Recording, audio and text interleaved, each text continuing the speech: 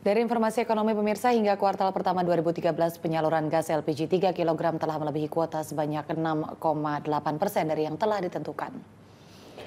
Vice President Corporate Communication Pertamina Ali Mundakir mengatakan kuota LPG 3 kg yang telah ditetapkan dalam APBN 2013 yakni sebesar 3,86 juta metrik ton Kuota itu dialokasikan baik untuk penyaluran paket perdana LPG 3 kg untuk program konversi dan juga penyaluran LPG 3 kg untuk masyarakat yang sudah terkonversi.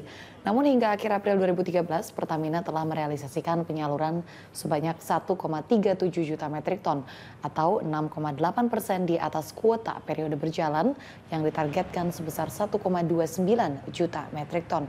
Ali menyatakan over kuota LPG disebabkan oleh tingginya permintaan masyarakat.